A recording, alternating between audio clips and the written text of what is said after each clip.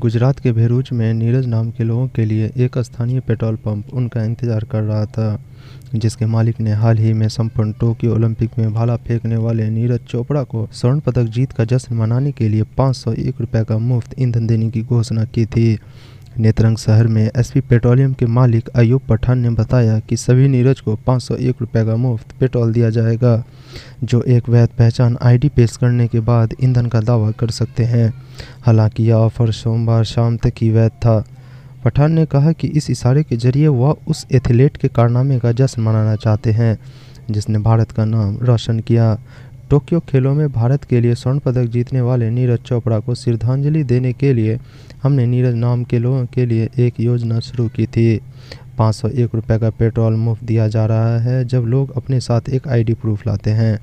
यह हमारे लिए बहुत गर्व का क्षण है जब उन्होंने पदक जीता। हमने इस दो दिवसीय योजना की शुरुआत रविवार को की थी। पेट्रोल पंप मालिक ने कहा कि अब तक 30 लोगों ने इस योजना का लाभ उठाया है। योजना के एक लाभार्थी ने कहा, पहले मुझे लगा कि यह एक फर्जी कॉल है, लेकिन पंप पर पहुँचने पर पता चला कि यह वास्तव में सच है। नीरज चोपड़ा द्वारा शनिवार को जीते गए स्वर्ण ने भारत को ओलंपिक खेलों में ट्रैक और फ़ील्ड में अपना पहला स्वर्ण जीत दर्ज करने में सक्षम बनाया। भारत ने कुल सात पदकों के साथ ओलंपिक में अपना सर्वश्रेष्ठ प्रदर्शन दर्ज किया।